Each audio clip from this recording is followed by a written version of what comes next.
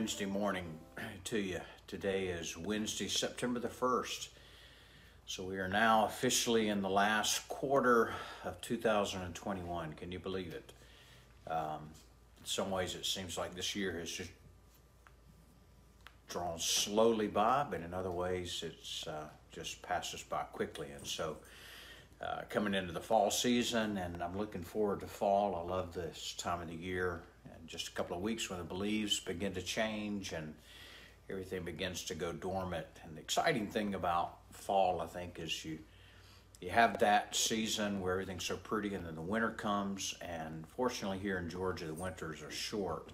And then we have the spring to look forward to, and it's always uh, just a recognition of, of the cycle of life, if you will. Uh, so, anyway, I want to remind you that tonight is corporate prayer, 6:30 p.m. It will be in the music suite, and so I encourage you to be a part of that. Uh, join together. Um, have have a series beginning the middle of September where we're going to have an emphasis on on sowing, uh, cultivating, and harvesting. We might call that a series on evangelism. But pray with me, those who are prayers, that God will work in our hearts and we'll see our hearts move to the to the mission of winning people to Christ. And so um, that's coming up beginning uh, the second Sunday of September. This weekend is uh, Labor Day, and so if you have plans this weekend, I pray the Lord will give you safety. Continue to remember to pray for Jay and Morgan and Shannon and Ruby as uh, they're still grieving the loss of Donna, and we are grieving along with them. Pray for Vanessa as she starts her chemotherapy treatment. Uh, pray especially for her, um, just for her mind, peace of mind, peace of heart uh, in the midst of this, and continue to pray for the Petruska family. Um, Constantine is going back to Augusta, I think, this weekend for some more tests, and so praying for that transfusion to be able to take place. And there's so many other prayer requests in the body. Um, but uh, just just pray for the body and keep in touch with the body. If you're uh, taking precautions during this upswing in COVID and you're not gathering together physically, stay in contact with each other. Um, it's so important. That's why we are blessed to have small groups or Sunday school classes, those places where we assemble together with smaller believers to care for each other. So encourage one another. There is a fountain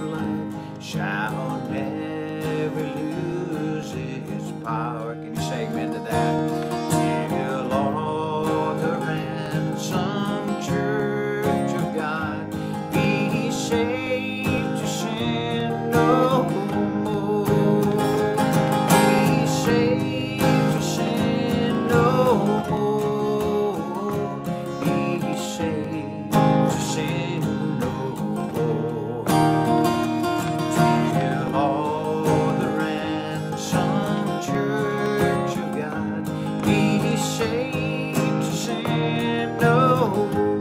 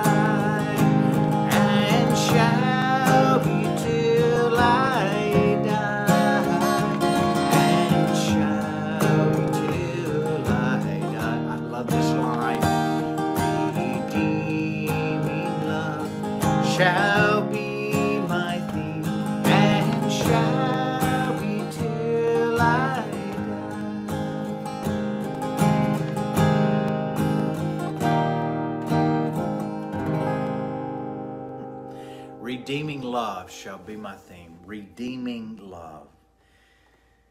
Redeeming love shall be my theme. Think about that for a minute. his, his love, because of his love, he has redeemed us, he's purchased us. We were once uh, enslaved, owned by sin, Satan, but because of his love, he paid the price. He he shed his blood so that we might be purchased. Purchased and brought out of the slave market and set free in Christ. That is a great thing, man. That should be the theme until the day we die. We're picking up in where we left off yesterday in verse 16 of John chapter 4, where Jesus is having this discourse with the Samaritan woman where he meets her at the well.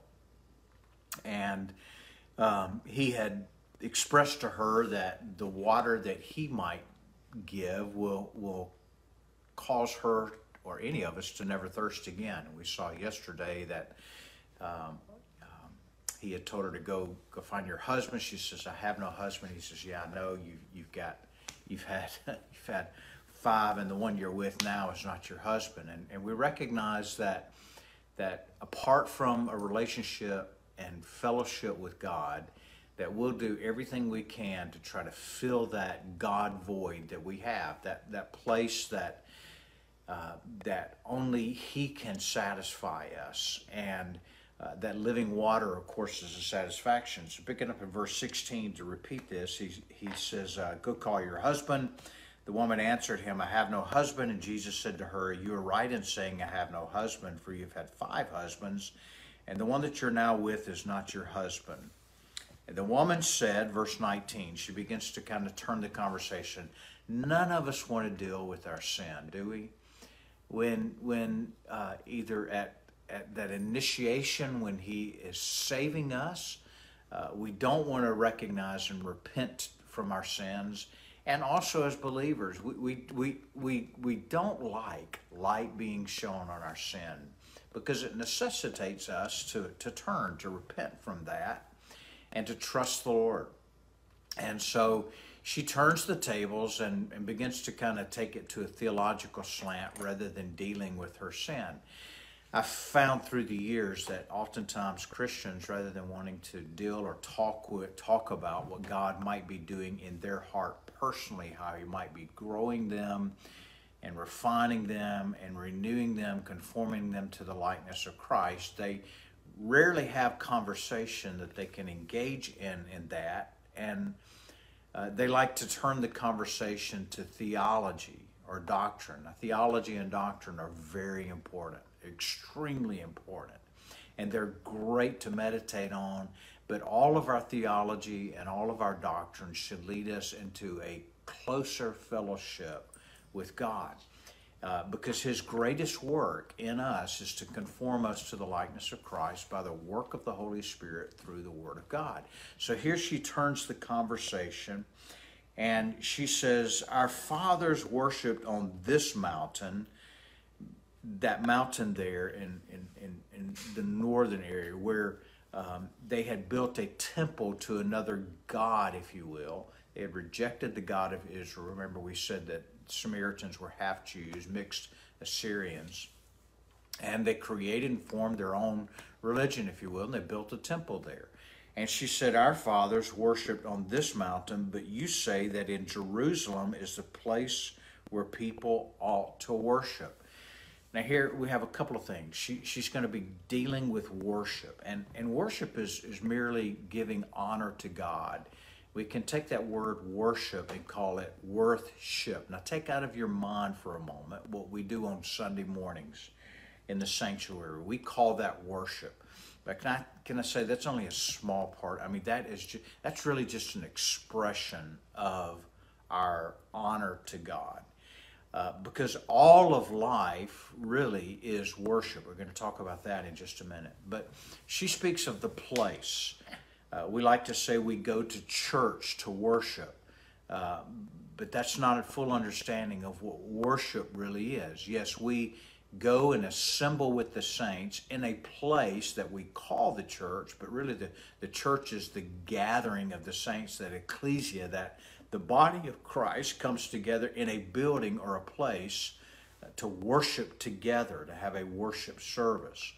Um, and so she was making the point, the argument, where's the place that we're to worship? And Jesus tells her this Woman, believe me.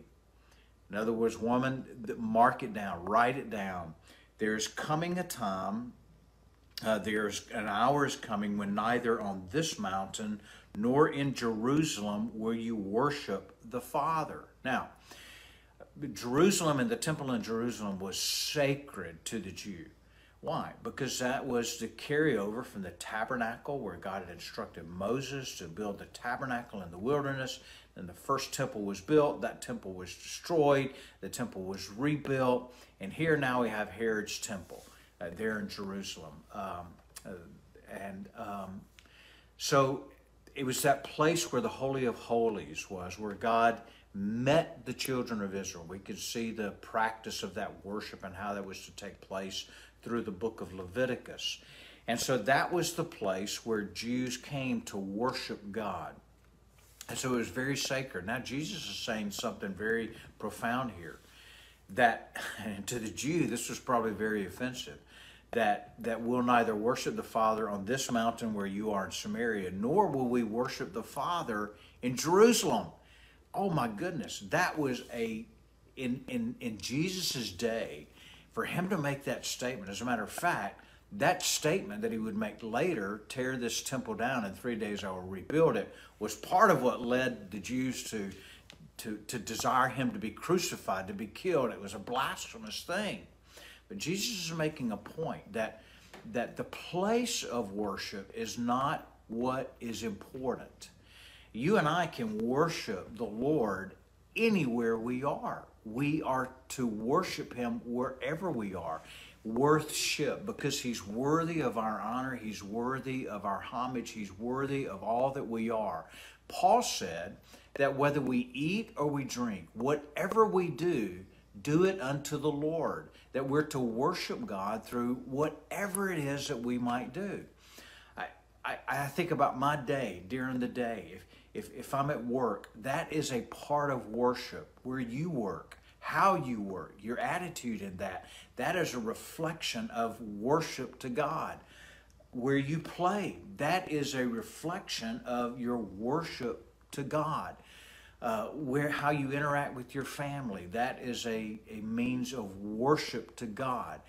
Um, where where you might find your leisure if you're out. Like I, I love being in the yard and working in my garden with my plants. That can be an act of worship. Whatever we do whether we eat or drink do all unto the lord. So worship is not just confined to that expression on sunday mornings but the bible as we carry it through and all of the understanding of what worship is Worship is our whole lives, everything that we are, given over to God. Honor Him in obedience to that. And he goes on to say in verse 22 You worship what you do not know, we worship what we know. for salvation is from the Jews. And he just kind of settles the issue there. Just kind of says, listen, you're you're worshiping what you don't know. You're worshiping a God that doesn't even exist. But we worship the true God.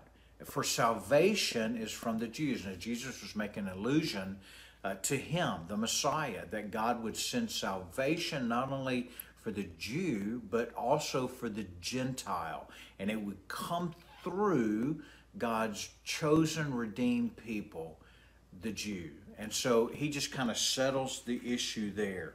He said, But the hour is coming, verse 23, uh, and is now here when true worshipers, those who have, have worship truly, who are sincere worshipers. I think of when Jesus said to the Pharisees, You worship me with your lips, but your hearts are far from me.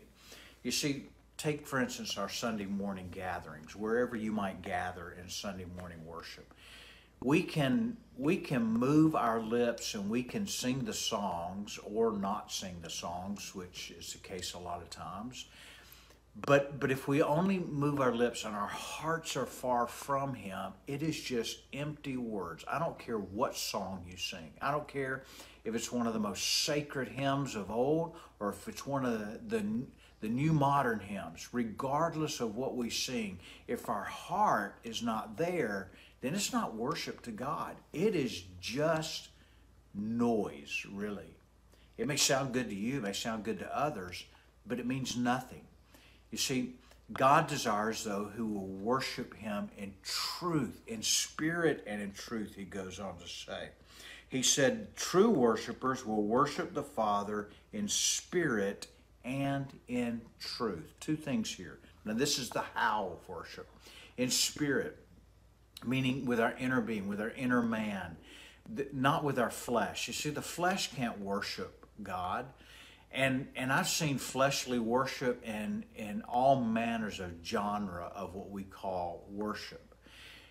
And it's flesh. Flesh produces nothing but flesh. But it's with our spirits that we commune with God. So he says, true worshipers, the Father seeking those who will be true worshipers, who will worship him in spirit and in truth, where it's it, it's founded and grounded on what what the Word of God says, which is absolute truth.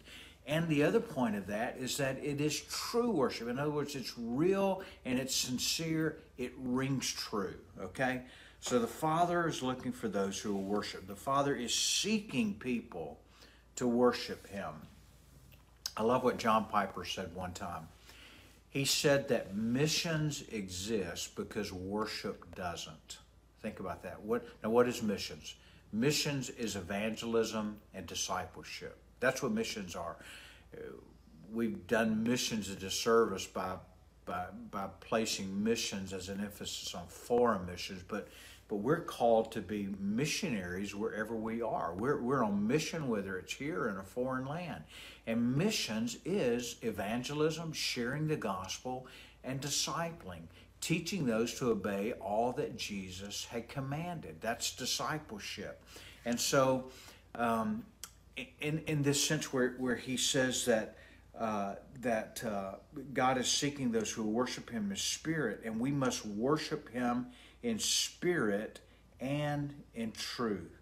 The Father is seeking those to worship Him. Back to John Piper's statement that missions exist because worship doesn't. You see, the whole point of mission, the whole point of evangelism and discipleship is to bring those into the kingdom so that they might worship God. That, that they're saved, and in that now we worship Him. The unbeliever, the unregenerate person, the person who's not been born again, cannot worship God. And so here he says that um, that that we're to worship Him in spirit and in truth. Now, verse 25, wrapping it up. And the woman said to him, I know that Messiah is coming, he who is called Christ. When he comes, he will tell us all things. And Jesus said to her, I who speak to you am he. Now, here she recognized that Messiah is coming, and her eyes are beginning to open here. Notice the three instances that she begins to recognize you. First, she recognizes earlier in the passage that he's a Jew. Then she recognizes that he's a prophet, which he was. Now she's beginning to recognize that he's Messiah. What I want to point out here is, is there is that cultivation in a person's heart where the seed is planted and now her eyes and her heart are beginning to be open to the Messiah.